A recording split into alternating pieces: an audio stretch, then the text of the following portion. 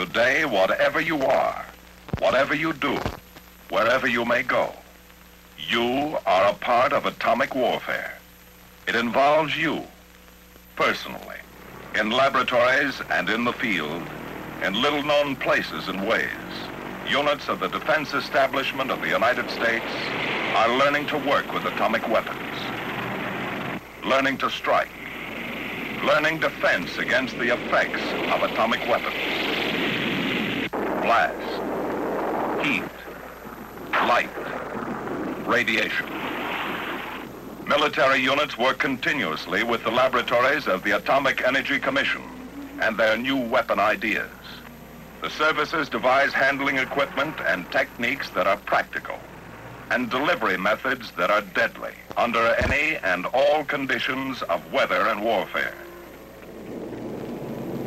13 minutes from now, this airplane is going to drop an atomic bomb on your country. You will see it happen. You will know why. This is the record of military participation on an atomic test. Their objectives, their experiments, their results.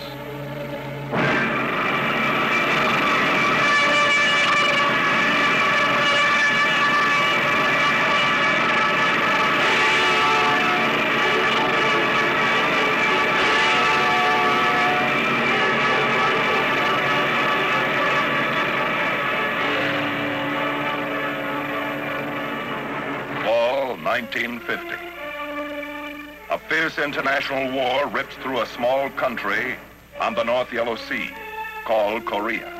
Russia has successfully detonated an atomic bomb. Now the Alamogordo of the Ural Valley is a fact. Now more than ever before, the balance of international power rests with atomic energy. With weapons moving steadily from assembly line to stockpile moving to hidden subterranean vaults to be stored, ready and waiting. But stockpiling alone in this day and year is not enough. We need to develop and produce a greater number and variety, and possibly even more powerful atomic weapons. Weapons tailored for specialized uses and targets. But like all new ideas and weapons, New atomic bombs, to be useful and practical, must first be tested. The Eniwetok Proving Ground is available, but problems of logistics make it difficult to run more than one test a year at this distant proving ground. What we need is a site closer to our stateside laboratories and available air support. Somewhere in the continental United States, close to home, a stone's throw from lab to testing field. But where? For a long time, as a matter of fact, ever since Trinity, men from Los Alamos had been eyeing the great barren stretches of the Southwest. This region, for the most part, fits the bill. Isolated from centers of population, with favorable winds, with the necessary consistency of soil and formation of earth strata below. And so beyond the World War II training base, to the north of an early day Nevada stage stop called Indian Springs, 65 miles north and west of Las Vegas, an atomic range was established. A test site of over 400 square miles of flatbed valleys, mingled with mountains of solid rock, whose veins once colored history with gold and silver. A range remote from civilization, isolated, forgotten as the names of the men who once made their fortunes here. Five times in the pre-dawn hours of January 1951, this long countryside came once more into international focus with Operation Ranger. The test of five atomic bombs. Five successful airdrops that saved the weapons research program months of time considerable money and helped Los Alamos prove the radical new idea of small atomic bombs. Soon after Ranger, another use at the Nevada test site was apparent. This was a chance for the military to get more information on the effects of atomic weapons, vital facts. For what good are atomic weapons without full knowledge of what they can really do? and how we can be protected against their effects. The job of coordinating all military tests and supporting the AEC program at the Nevada site has been assigned to Special Weapons Command, a command that had successfully supported Ranger and has been in working contact with the AEC, as well as with all military units engaged in atomic research. So today, we in the armed forces have a test range close at hand and the opportunity to watch and note the effects of the atomic bombs to be detonated on and in and above Nevada soil. The armed forces are a full partner in the atomic test for the fall of 1951, Operation Buster Jangle. And to take full advantage of this opportunity, we have a program of experiments and operations to seek out the answers of atomic warfare. Nevada test site. Baker shot, minus one day. For the first time since the era of ZI atomic testing began, we in the military have a full-scale program to answer the questions a military man must know about the basic effects of an atomic explosion on his material and equipment. Along the blast and thermal line, men of the various programs begin the job of placing their test equipment. Precisely arranged at predetermined distance from ground zero, men from the Corps of Engineers set up panels of plastics, paints, and coated fabrics, samples of various materials, tent cloth, inner and outer clothing, standard and impregnated materials. Lucite spheres built to represent a human torso in depth and density are located at five stations 2,000 to 8,000 feet from ground zero. Film and crystal dosimeters at varying depths within the spheres will measure ionization produced by gamma radiation. Foxholes become a priority project. Open and closed foxholes are spaced from 100 to 2,200 feet from zero. Protected and unprotected structures for the individual soldier are instrumented with film packs, gold foil, and sulfur samples to record gamma and neutron dosage. How and when materials ignite has been tested in many ways, but never before like this. Trays of typical refuse from the forest floor like leaves, twigs, and pine needles are to be exposed. We want to find what thermal energy levels will ignite these materials, what effect the blast winds will have on continued burning. What could we expect if enemy bombs were dropped in our forests? Fresh limbs of trees and dry logs should help answer our question. Kirtland Air Force Base, 1600 the afternoon before the first airdrop of the operation. This is not a test of new loading or drop techniques by the Air Force. Every man, every piece of equipment, every technique has been thoroughly proven during many months of practice runs on everything from uncrating the test units to dropping them on test ranges.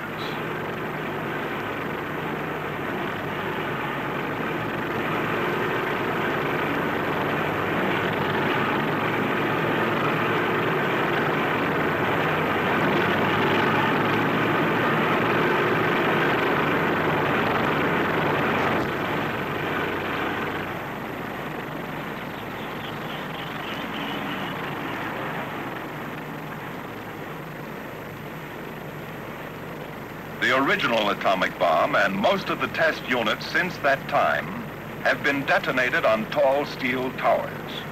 The towers are costly and take a lot of time to build.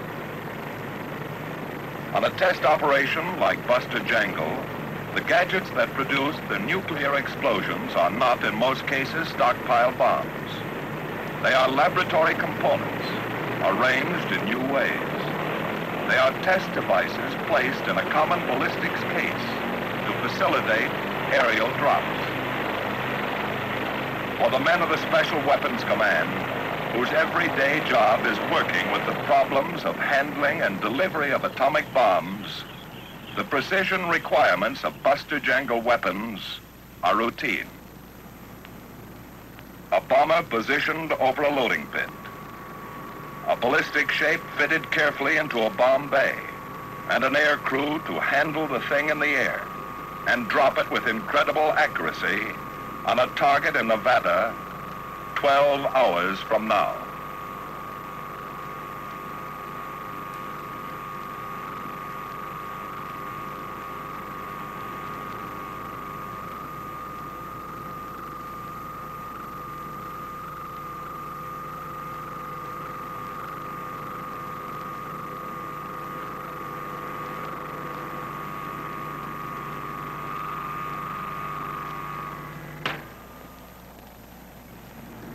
The bomber ready, it moves off to wait its takeoff time under double guard.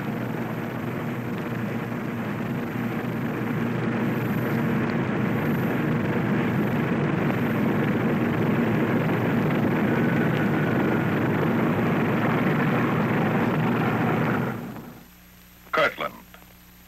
Baker Day, 0100.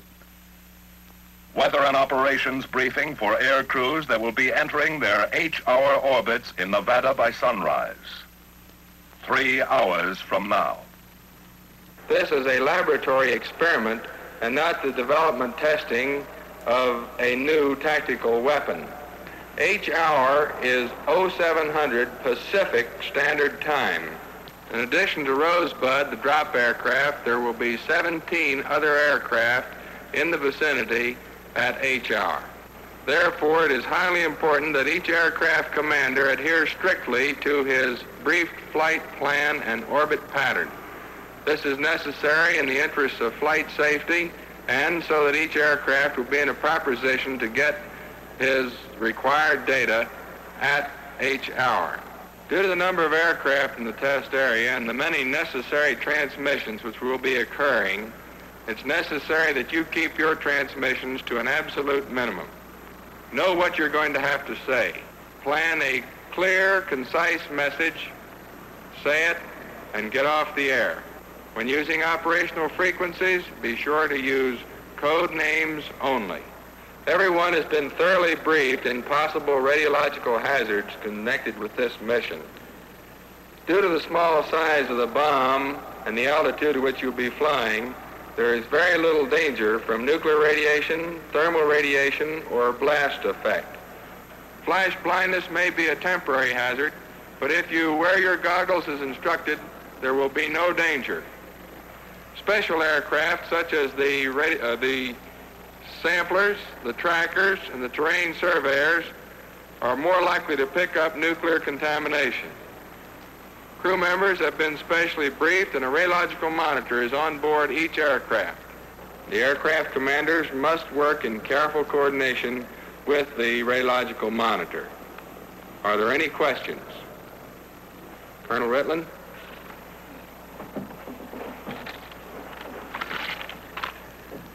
Gentlemen, the series of tests we are participating in today are unique in that this is only the second time that atomic bombs have been dropped within the continental limits of the United States.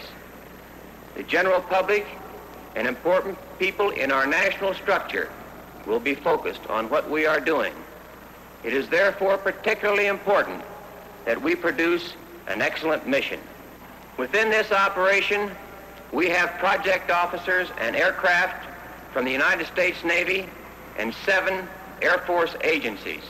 You have been placed under my operational control so that we can be brought together to accomplish the mission as efficiently as possible. Each crew has been thoroughly trained in the technical aspects of your mission. This morning we have had a complete operational briefing for today's mission. With the background you have received and the training that you have attained on previous atomic tests, I am confident that you will successfully complete this mission. Now let's go and have a good mission. First of the air operations to get underway is a C-47, with a job to do only in case the drop plane gets into trouble along the way. If the drop plane has to jettison a unit of fissionable material. These rad-safe, medical, and security men that make up the disaster crew will either land or parachute themselves to recover and protect the unit. The drop plane, Rosebud, is in regular communication with the disaster crew from takeoff to zero hour. Hello, Bottleneck. This is Rosebud. Go ahead, Rosebud. Bottleneck, this is Rosebud. Airborne is 0215, proceeding on course. Roger, Rosebud. For the newspapers of the world, a headline rides in the cold belly of an Air Force bomber. Back at Kirtland, in what is known in the trade here as catfish control, in a very unspectacular routine way, every movement of that newspaper headline and all the other air operations for Buster Jangle are carried out under the eyes of men seasoned by the experience of other atomic tests. Ranger and Greenhouse. All this coordinated with the Air Operations Center and the control point at the test site. Here, the positions of every plane in the area are plotted continuously. Their orbits in the sky above the test site must put them in a definite place at the time of the shot in order to ensure airborne tests the same kind of planned position in relation to the burst as the military tests on the ground. In the crisp air of this Nevada sunrise, a news headline is about to be born. A news headline and more. A great deal more. The beginning of a regular schedule of tests to quickly proof test new ideas, to bring more powerful atomic weapons into being as soon as possible, to gain the know-how for the most effective use of atomic weapons, and for full defense against their effects. Five, four, three, two, one, zero.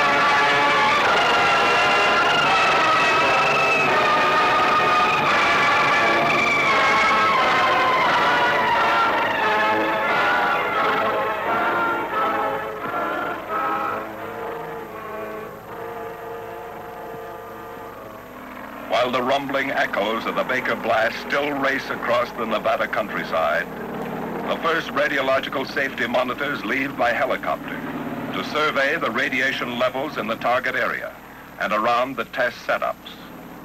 As their reports come back that the area is temporarily clear, the military effects people can move into the blast area to recover their samples.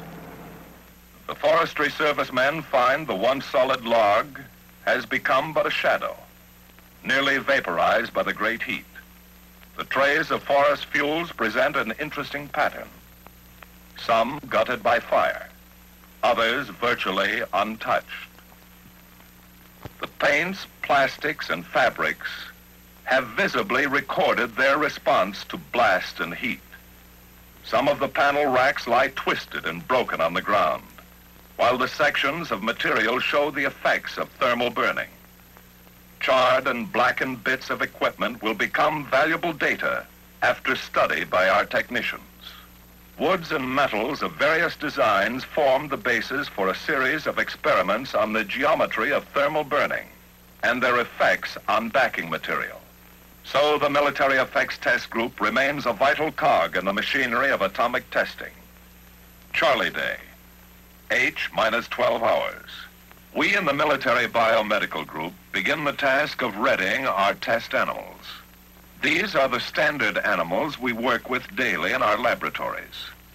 Knowing and working with them, we find that in many ways they are affected very much like humans when exposed to an atomic detonation. So these are our instruments. Perhaps the most delicate of all instrumentation used during atomic tests. We completely anesthetize them for their mission at each hour. Our objective here is to correlate laboratory and field testing and determine the reliability of knowledge gained in our labs.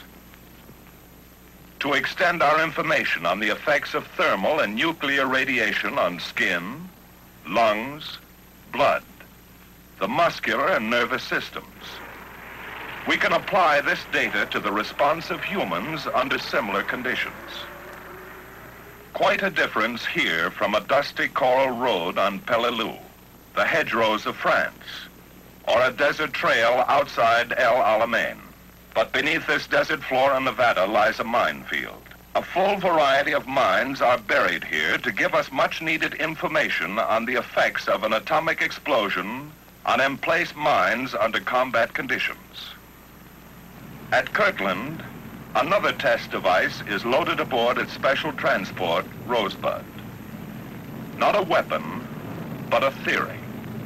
An idea in a ballistics case. Another step in atomic energy enterprise. Perhaps another way to increase the yield of the stuff atomic bombs are made of. The test site ready, the valley where the tall mushrooms grow is left to spend the night before the shot alone. Operation Buster Jangle. Charlie Day. How's the chute check? Fine. Okay, okay. Okay, sir. You gather around for briefing.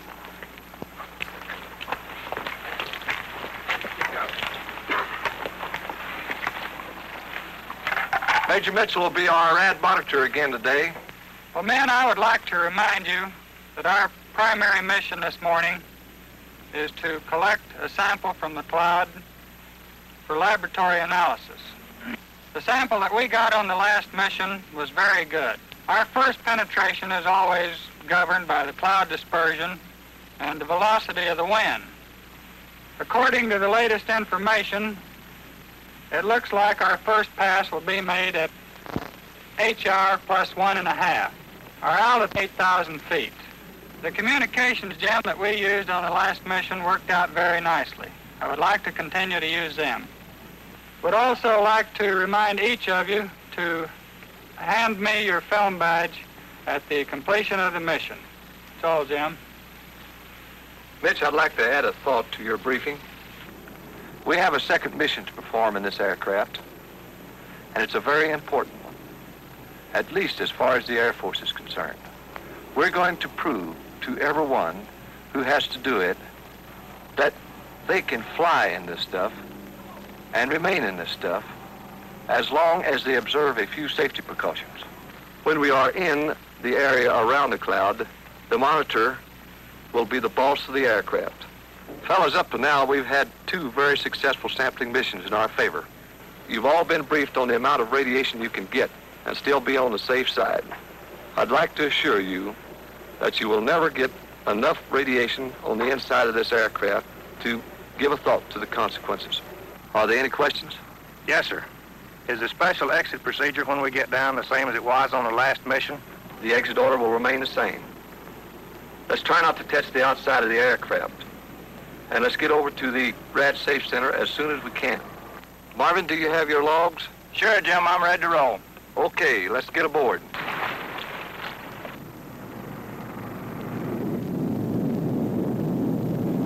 Zero hour, minus three minutes. From the bombardier's seat in the drop plane on its final run, we can see our target. The minefield line lays along our course, stretching east from ground zero. The blast and thermal line stretches out to the right, south, toward the control point. The military effects tests are ready. Airborne tests for the services are ready too. Nine miles to the south of ground zero, a C-54, codenamed Starfish, flies a course parallel to the drop plane. This is an airborne laboratory with a staff of doctors to test the effects of the bomb's initial light on the human eye. We want to know how to heal or cause the eye to return to normal after it has looked at a light that for a fleeting moment burns with 50 times the intensity of the sun at high noon. A variety of goggles and filter devices permit only certain degrees and wavelengths of light to reach the eye. The flash blindness experiment is ready. Below at the control point, other eyes wait. Nine, and what? Seven, six, five, four, three, two, one, zero.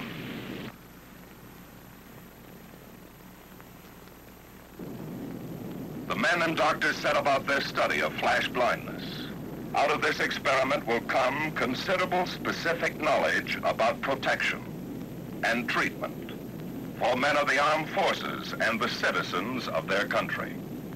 All of this even as the Charlie cloud continues to boil. As the cloud begins to drift and roam beyond the test site, high priority is given to the earliest possible recovery of some experiments and data, like the animals of the military biomedical experiments. When the OK from RadSafe is received, we move in rapidly to collect our animals. Time now becomes the most important commodity, for these are living, breathing beings. Although still completely out from the effects of anesthesia, they can only go so long without food and water. So they are quickly removed from their blast line stations and carefully carried to the waiting trucks. In another area not too far away, our test rats are removed from their electrically heated tubes. November nights in the Nevada desert are not exactly warm. This is but another project in our continuing research on the effects of thermal and nuclear radiation and its ultimate application to the effects and responses on humans subjected to atomic explosions. Hi, Rat. Hi, Paul. How's the area for Shotgun 8 to come in? The atomic cloud has moved over far enough, leaving the aerial space uncontaminated. the RadSafe monitors have checked the landing strip and found it radiologically safe. Good. Shotgun.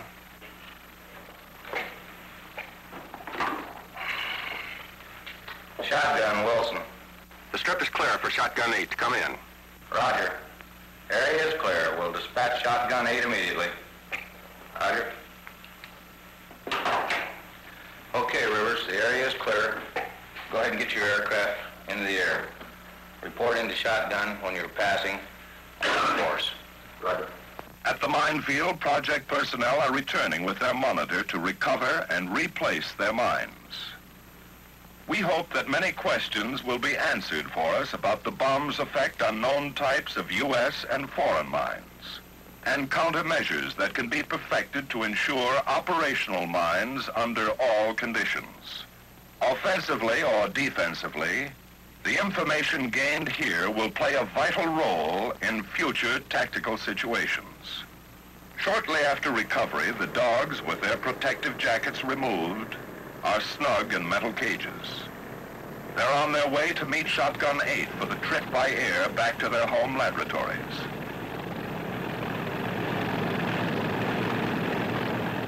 A great deal may depend on these animals. The vital facts and figures gained by our living instruments could mean the saving of many lives, perhaps yours and mine. These dogs will play an important role in formulating new healing techniques. For without them, we are handcuffed, unable to observe, study, treat, and heal. In the sky some distance from the test site now, the atomic cloud is still very much in being. Colorful, in its own way fascinating carrying with it the radioactive products of the fission explosion. The biography of every atomic cloud is essentially the same. The intense heat and violence of the fireball as it sears the sky causes the spectacular and colorful rust-like condition in the air around it. As the fireball cools, an enormous vacuum and afterwind is created causing the desert floor to rise up into the cloud itself to form the characteristic mushroom stem. The cooling also sets up a rapid condensation in the air around the fireball that sometimes produces layers of ice crystals, literally an ice cap. Knowledge gained on previous nuclear weapons tests has produced the theory that once the cloud has formed and stabilized in the sky, the vitally significant fission products and so-called unburned fission fragments don't distribute themselves evenly, but tend to collect in very large invisible pockets, hot pockets, or cells inside the cloud. The particles that are suspended in these nebulous cells indicate many things that happen inside the bomb, as well as the efficiency of the fission reaction. So attempting to locate the cells and collect samples from them is a mission of the highest priority. Airborne by the winds, the cloud soon shears and spreads thin over an increasingly wide area. The radioactive cells become less concentrated, each one sometimes stretching over many square miles. They can't be seen, but will readily tip their radioactive hand to airborne detectors. Drone B-17s collected samples of the atomic clouds on Crossroads in 1946 and Sandstone in 1948. But on Sandstone, a manned aircraft accidentally encountered a good sample while tracking one of the atomic clouds. For Operation Ranger, all of the cloud samples were collected by manned aircraft. On Greenhouse, the test at Eniwetok in the spring of 1951, samples collected by manned aircraft equaled those gathered by drone planes. So manned samplers now have their permanent place in nuclear weapons testing, very probably replacing the pioneering drones entirely. At this moment, the samplers are orbiting at several altitudes a short distance downwind, awaiting the order for their first penetration of the cloud. Mounted on their wings and fuselage are filter boxes holding chemically pure papers to capture sample particles of the cells, if they can be located. The men inside are standing by, making final preparations for their first pass through the Charlie Cloud. Their operations are based on considerations of each cloud individually. Their penetrations are ordered from the CP. Charlie Cloud, H plus one hour and 30 minutes. Take a look, Hal. It's okay to me. Okay, let's see. Say, that's Cream Puff 3, isn't it, Paul? Yes, that's Cream Puff 3. How does it look? Well, looks pretty good. Why don't you have him try a first penetration? That's okay, Hal. Let's try plan three, though. Plan 3, is that okay, Hal? Right. Hello, Cream Puff 3. This is Keyhole. Uh, you're cleared to start first penetration. Follow Plan 3. Visually, Cream Puff 3 seeks out and heads for the most dense portion of the cloud. His mission plan is simple. Before reaching the visible cloud, the sensitive survey meters in the plane start to climb as it enters the invisible field of gamma radiation that surrounds the cloud. If the plane misses a cell, the meters return to almost a zero reading when it emerges from the gamma field on the opposite side. If so much as the edge of a cell is touched, the plane is instantly contaminated, and the meters will continue to read comparatively high. The plane will continue to make passes until it has made a sufficient number to collect the required samples. Penetrations are delayed and spaced to keep personnel contamination to a minimum while collecting the vital samples. With a selection of radiation detection instruments inside, the monitor tries to locate and penetrate a cell of hot stuff in the cloud. For anyone who may ever have to work in the hot stuff, the most practical precautions are being tested and proven here on Buster Jangle.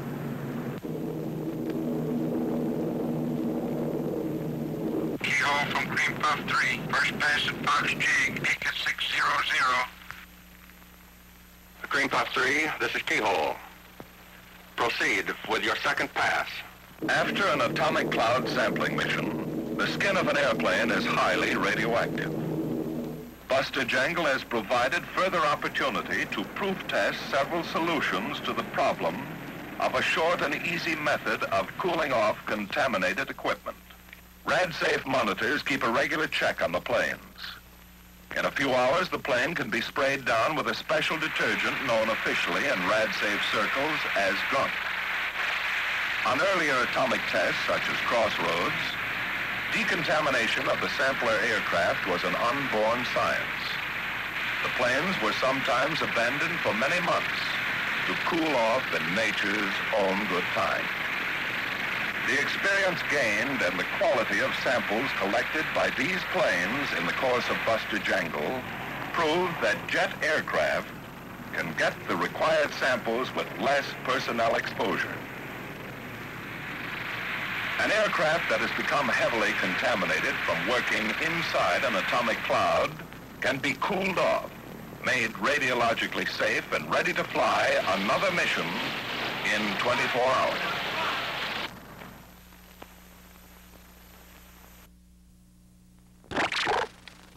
Buster Dog.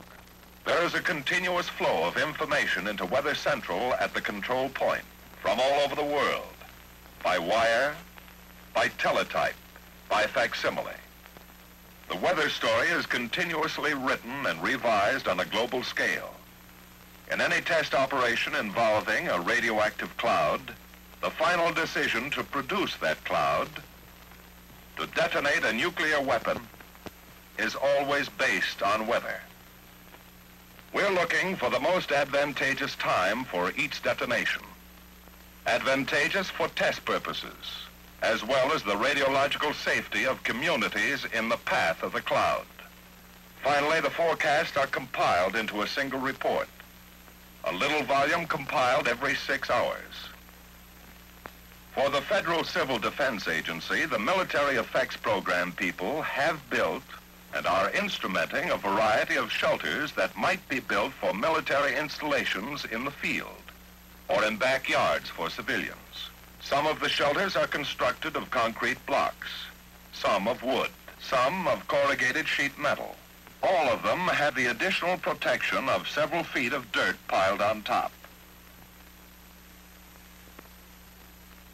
Through the night before zero hour, as often as necessary, the test director and his staff will meet with the weather officer for briefing. The winds at the surface are 330 degrees at 5 knots. At 10,000 feet, they're 330 degrees at 14 knots. And at 25,000 feet, they're 340 degrees at 35 knots.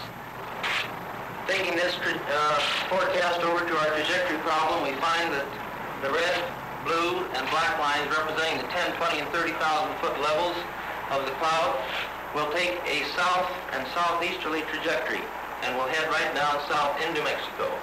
Taking this trajectory and transferring it to a map of a larger scale, I have here presented the 10,000, the 20,000, and the 30,000 foot levels. Each of these pegs indicate a two-hourly movement of the cloud at these various levels. I believe, Dr. Graves, that's all that I have at this time. Well, thank you very much. What do you say, Rush? Should we go ahead? Favorable, Al. What do you think, Duncan? Already out. Okay. Okay by me. And your planes operate with these winds, Ed? Yes, sir. With this forecast, uh, conditions look very favorable for us to establish our flight patterns. What do you say, Tom? We're all set, Al. The mobile teams have already started to shift their positions. Well, Carol, I think we should go ahead. Okay, Al, we have a shot. Dog Day. H minus two hours and 30 minutes. Rosebud approaches the test site. Hello, Keyhole. This is Rosebud. Over shotgun at 0430. Keyhole to Rosebud. Switch to channel 30. Keyhole, this is Rosebud. Go to channel 30. Now on the very high frequency radio channel, a test site in readiness focuses its operations on the reports that come down from the drop plane. The same plane and crew that dropped the five bombs of Operation Ranger, the first ZI test. Keyhole, this is Rosebud. Request information of the day. Over the control point, the bombardier starts collecting the latest dope on winds, temperatures, pressures, and humidity at various altitudes. Information that will help him make the most accurate drop possible. There's a lot of work to be done before bombs away. Hello, Keyhole. This is Rosebud. In target area. The bomb is not yet armed. Final preparation of the test unit is delayed until the drop plane is safely beyond any inhabited area. While the weapon is put in readiness, Rosebud will hold an orbit pattern over the now deserted target area. The unit of fissionable material is monitored at regular intervals before being fitted into the weapon. Pilot to weaponeer. We are depressurized. You may begin your IFI. To permit in-flight access to the bomb bay, Rosebud flies at an altitude of 10,000 feet for its IFI circle, the holding pattern for in-flight preparation of the weapon. Up forward, the bombardier readies the bombsight well ahead of time. As the weaponeers, the ever-present midwives for nuclear weapons, start the job of putting the test device in a state of readiness for the drop. In the skies around the test site, all the other planes are present and accounted for well in advance of H hour, orbiting their time in assigned patterns. Three B-50s are on hand to develop airborne techniques for determining bomb damage, IBDA. Indirect Bomb Damage Assessment, it's called. What they gain on these tests may eliminate the need for post-strike reconnaissance, risk fewer men, and fewer planes on an atomic mission. Inside the IBDA planes, they're working out the problem with equipment in standard use throughout the Air Force today. Though a radar beam will not penetrate an atomic burst, it may be possible to tune the radar screen in a way that will permit the clocks and camera in the setup to record ground zero, the exact time of the fission explosion, and the height of the burst. Aerial photographs will help determine the specific kiloton yield of a bomb. If ground zero, height of burst, and yield can be recorded by this combination of equipment. A couple of miles below, in Rosebud, the weaponeers are winding up the tedious and exacting job of putting the test unit in readiness for the drop. Nearby, men in the disaster aircraft, always within an easy call of the drop plane, can relax a little, settle down and wait for the show. From now until the weapon is dropped, its arming and firing circuits and unit of fissionable material are monitored continuously.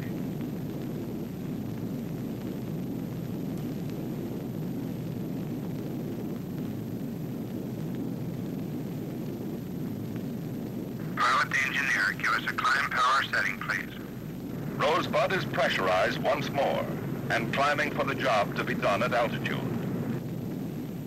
Tadpole 1, this is Rosebud. Go ahead, Rosebud. This is Tadpole 1. Request winds and altitude.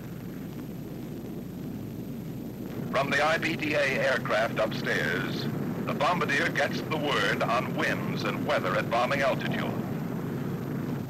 An hour and a half later, after three trial runs at altitude to establish the track it will make over the ground for the bomb run, Rosebud nears the end of the base leg of its final pattern. Get ready to turn in five seconds. Four, three, two, one, turn. Four miles below, the experiments and observers at the test site sweat out the final bomb run. Bombardier, would you open the bomb bay doors, please? Level, level. Minus 15 seconds. Get ready. The entire operation now waits on the skill of this man. This bomb crew is allowed a maximum error of 200 feet from ground zero, with a two-second leeway in time of burst. Level, level, level. 10, 9, 8, 7, 6, 5, 4, 3, 2, 1, 0.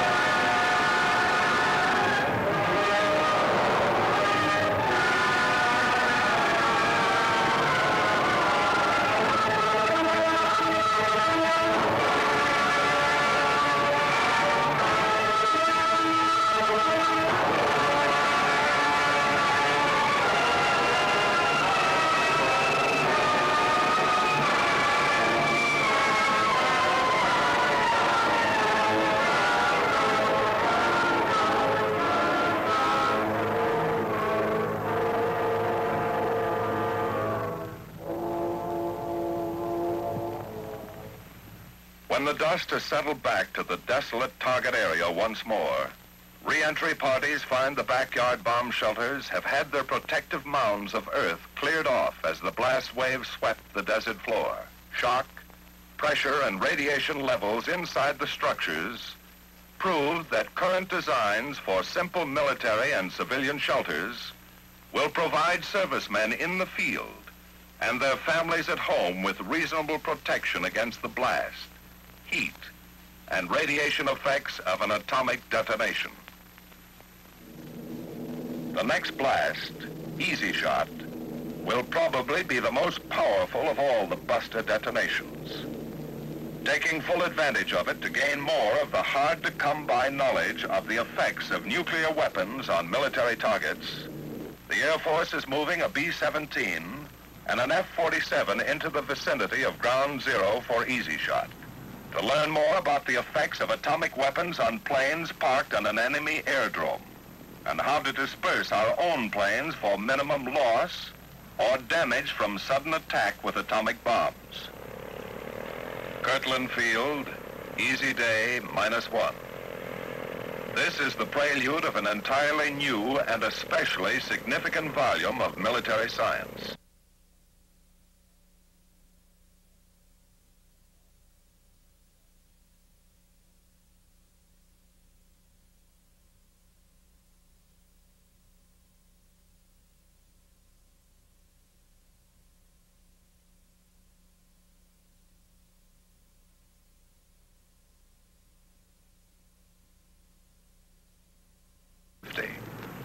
So this will be the first live nuclear weapon in history to be dropped from a jet aircraft.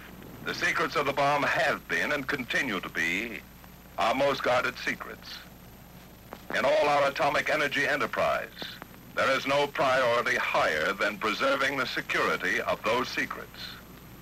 It's a physical thing like guards and passes and security screens. And it's an individual thing in the minds and hearts of men. In an atomic test, as in the everyday duties of those who work with nuclear weapon development and technology, security is the highest obligation and responsibility. Well, that's fine. I'm, I'm glad it's all set. Okay, Sid, we'll be seeing you. Goodbye. Mac, that was uh, Sid Newberg over at AEC. He's got some information he wants to talk over with us tomorrow morning. Uh, before we leave, Colonel, here's a uh, essential elements of information report that came in just before you got here. Uh, I think we've got time to go through it if you'd like. Yes, I think we should, Mac. With another shot coming off in the morning, it's uh, good to know these things. I checked with the FBI and the OSI a little while ago. There are still five known members of the Communist Party operating in our area, Zone 1, at the present time. They're the same five we've had for quite some time. They're still underground and still no indications of any organized meetings. Along the uh, Mexican border, there doesn't seem to be any significant movement of uh, subversive elements into the country. Now, the picture in Zone 7 around Las Vegas indicates two members of the Communist Party uh, registered at a hotel there yesterday afternoon. Uh, we have them under 24-hour surveillance.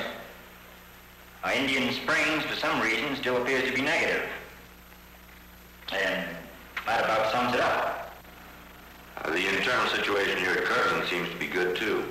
Oh, that's fine. Fine, Mac. Well, I suggest we call it a night. That sounds good to me. Okay, Mac. Well, thanks for staying down this evening. I'll see you tomorrow. Right. Oh, good night, Colonel. Good night, Mac. Easy day, dawn plus 13 minutes. Ground Zero in Nevada is only minutes away from Kirtland in the jet delivery wagon.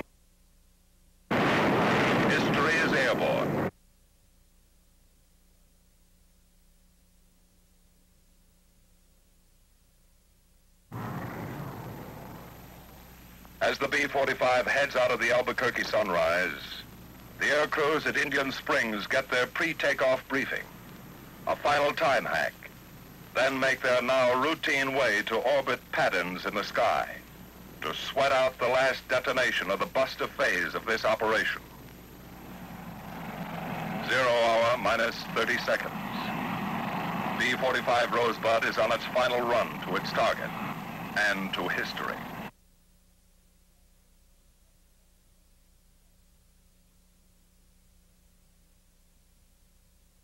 The easy target waits alone and unobstructed for its place in the chronology of nuclear weapons development. The military effects tests are ready once more for their individual H hour.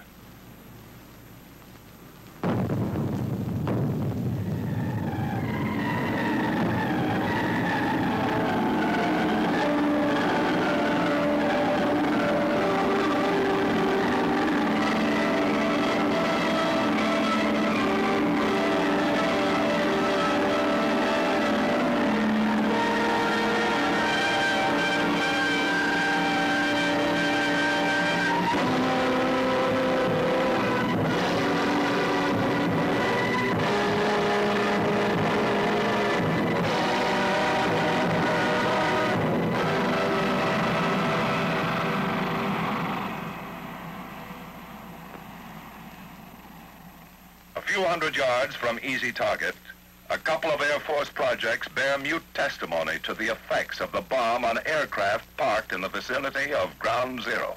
From study of these wrinkled skins, broken ribs, and backs, may come more positive knowledge, not only about dispersing planes on the ground, but about operating aircraft in the vicinity of an atomic blast. One by one, the military effects test setup open for reentry takes to collect preliminary information. As early as possible, the Army engineers are going to put some of the samples from their water supply experiment through a system of filters and pumps to try and develop a practical system for making contaminated water usable once again for cooking and drinking. Water being as hard as it is to get many times, men in the field may depend on the techniques developed on Buster Jangle for their survival someday. In the Air Operations Center at the control point, plotting teams stand by once more to map out the reports from aircraft on the various activities and conditions of the atomic cloud. From the ground, the movements of the cloud can only be observed for a limited time. In the air, it can be tracked over great distances visually and with sensitive counters. Uh, Nutmeg 1, this is Keyhole. You are cleared off orbit at briefed altitude to start your operation. The tracker flies across an orbit around the leading edge of the cloud at a horizontal range of about 20 miles. As with each type of air operation, there are several trackers flying at different altitudes, keeping track of the different layers of the cloud as it shears and moves with the winds of different direction and speed. Inside, ultra-sensitive ion chambers and scintillation counters maintain a continuous fix on the cloud. This kind of work will help make future predictions of cloud shearing and movement more accurate and provide the Weather Service with a means of studying wind currents and dispersion that was never before possible. Regular 10-minute reports are sent to the radio operator, who relays it to the plotters at the control point. Flying now beyond the range of the special very high frequency channels normally used for communications on Buster Jangle, the message goes by key to the decoding operator in the Air Operations Center. Keyhole from Nutmeg 1, Able 1, Baker 8, Sugar 35, Charlie 101, Dog 0, Easy point 1, Fox 240. Information reported by the trackers also helps civil and military authorities throughout the country determine areas and altitudes in the path of the cloud that should be avoided by their own air operations. King 24 knots. Love, negative. Nutmeg 1 from Keyhole. Roger, you're able 1. Here's our first report.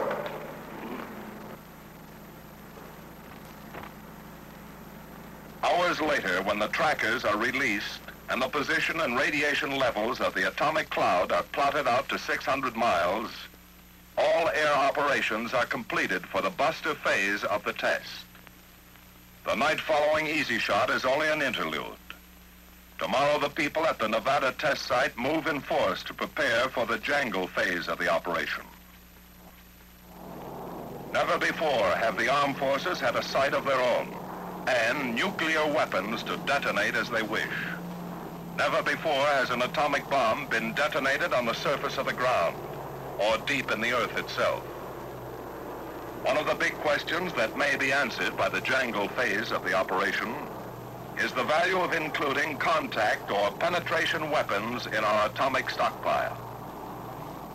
We have two nuclear weapons of our own.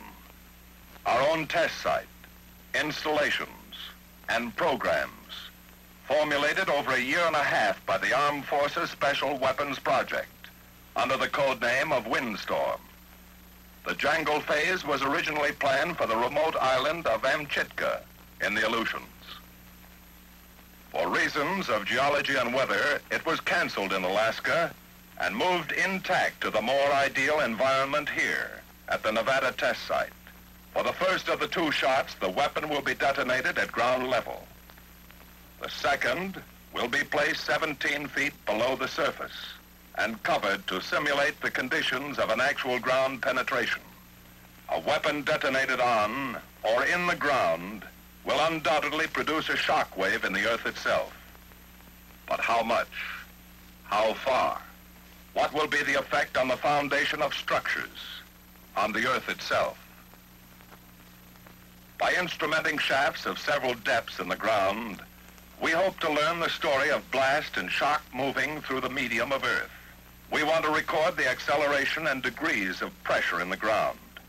In other words, how will the effects of these weapons differ from an airburst? What will be the amount and extent of radioactivity? How long will the ground area remain untenable from the unprecedented amount of radioactive fallout and residual contamination? A multitude of collectors, film badges, radiation detection and recording instruments at various distances from ground zero may give us the radiological story of the surface detonation. Another part of the story will be written in the work of the Army's water supply decontamination and purification experiment. To compare the effects of a surface blast with an airburst, many of the military effects setups used on the Buster shots are being duplicated. We're going to test every conceivable type of presently available military field clothing and future materials that may be used for radiological protection as well as utility. After two years of work by the Armed Forces Special Weapons Project to get the most information for the time and dollars spent, the all-military part of the Buster Jangle operation stands ready. Minus 30. In the main control room at the CP, a network of clocks and timers are set in motion to warm up instruments, fire the weapon, and set the experiments and recording instruments in operation each in a sequence that is precise to 10 millionths of a second. Minus 15. 10, 9, 8, 7, 6, 5, 4, 3, 2, 1, 0.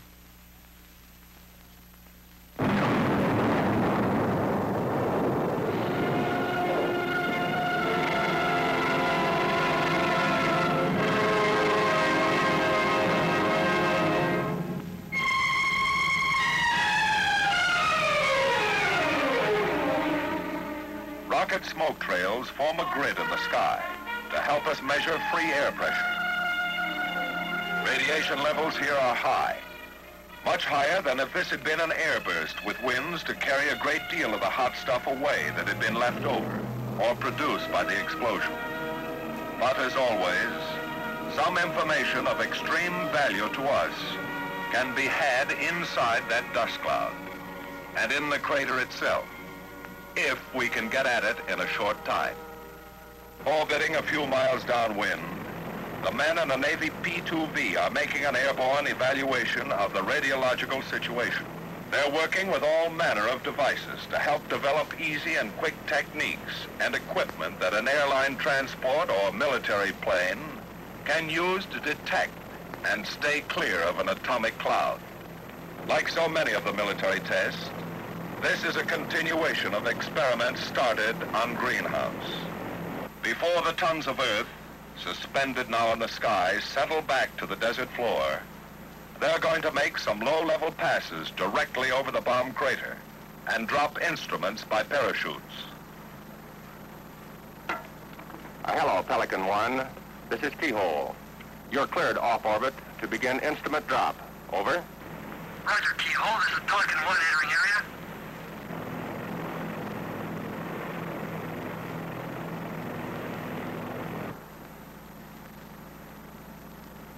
The men in the P-2V are the first to approach ground zero. With their instruments, they will record the first chapter of the radiological story in the target area and bomb crater. Instruments are parachuted into the area which send back to the men in Pelican 1 a telemetered signal of their findings. The answers to radiological questions from the interior of the dust cloud that still hides the crater from the eyes of anxious observers. In a little while, ground monitors mark off the outer limits of personnel re-entry to the blast area and the distant surface shot crater. But there are some samples of soil from the fringe and interior of the crater that will be of the greatest value if they can be gathered up before they run the limit of their radioactivity. The eyes of a few men are going to get a close view, now, of this hole in the ground that once was ground zero. To make this possible, Army weasels, drone weasels, are warming up now for a sample collecting trip into the crater area. Sample gathering by remote control, observed and accomplished through the use of television. Mounted on the front of the weasels are compact television cameras that can be made to move in any direction, like the weasels themselves. One of the drones is fitted with scoops on the front, which will, hopefully, return filled with Earth samples from the crater area. They travel their own private road from the remote control station to the mound of earth that circles the surface shot crater. The other weasel has a drill bit mounted on the back, which will be doing some remote controlled digging for sample cores of the crater. For many reasons, it's important to know the fallout pattern and levels of radiation in the wake of every atomic cloud. To get the information that makes up the radiological picture of the terrain and the path of the cloud, the survey planes fly at very low altitude, about 600 feet above the ground, back and forth across the path of the cloud. They avoid the cloud itself, but have special filters loaded to catch invisible samples of fission products that might be lagging behind the cloud. They can monitor the terrain with ultra-sensitive detection devices, like scintillation counters, beta-gamma survey meters, and air conductivity instruments. Pieces of the picture are called in regularly, every few minutes to the plotting room at the control point. Gopher 2 to keyhole. Cable 1 2. Charlie 1340, dog 14, easy 8000, Fox. Ground nine, monitors are five, standing two, by to zero, move into any areas zero the three, terrain survey foul. planes may find to be potentially hazardous hotspots after reworking them first from the air. Request permission to rework areas dog 1-4 and dog 1-5. Gopher two from keyhole. Roger, you're able. One, two. Affirmative.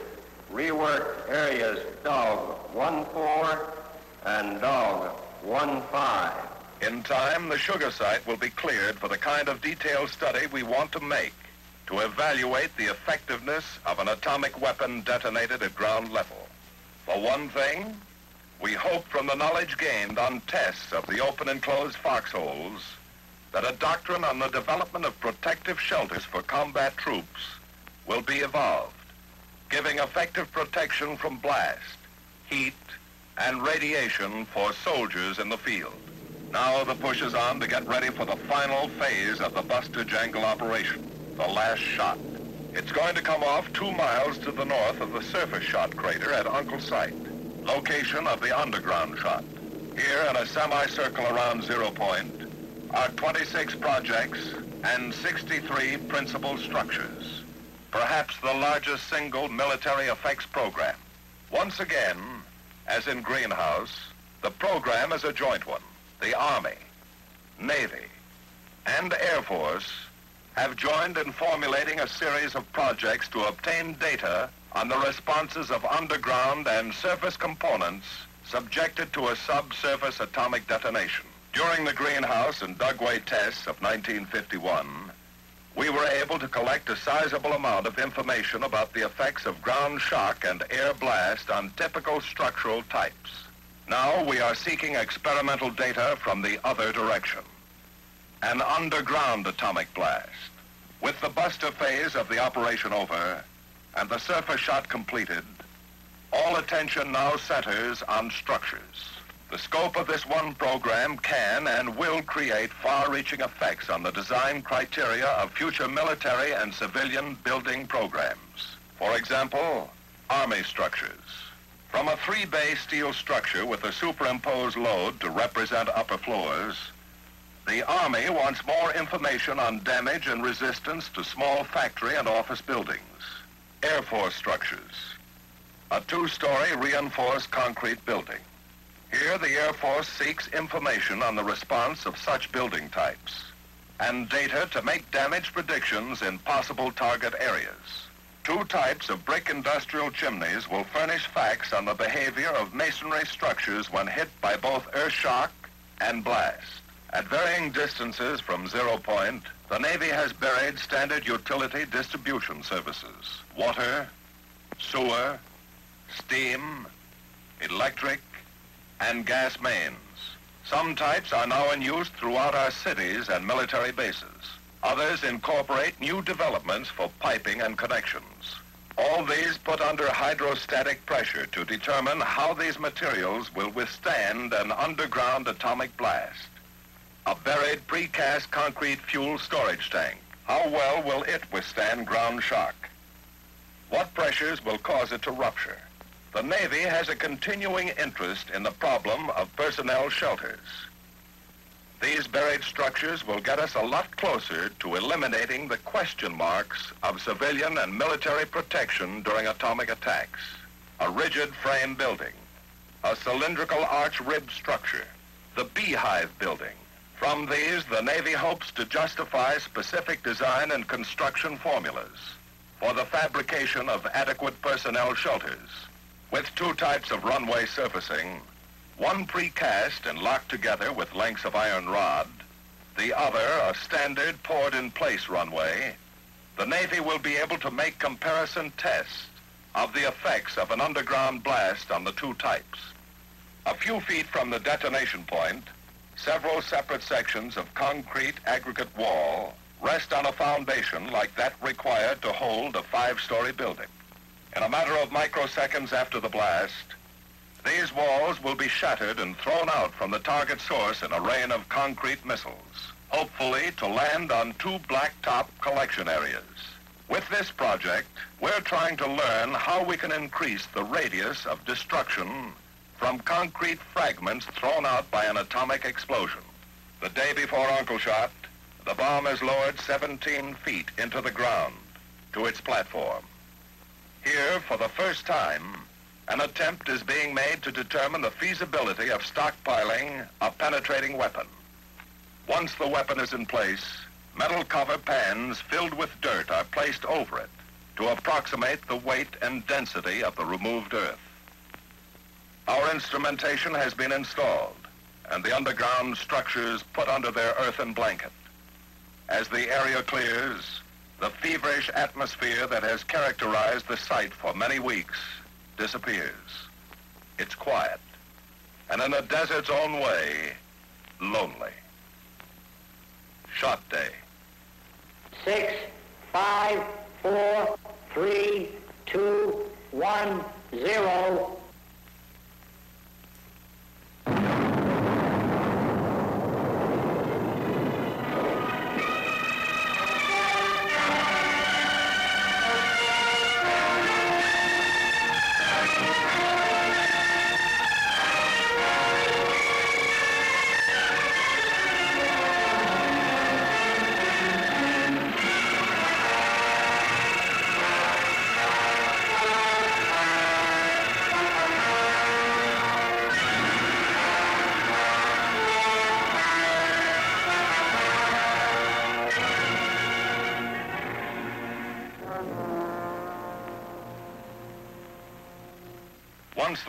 And dust of the underground shot becomes a thing of the past, and it drifts far away from the ground zero crater, preliminary ventures are made into the area by monitors of the RadSafe group.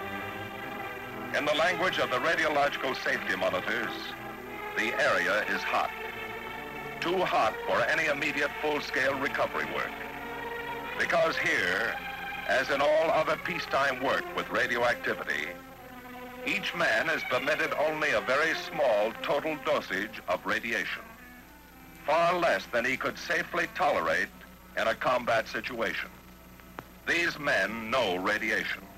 They live with it daily, here in the field and at their home laboratories.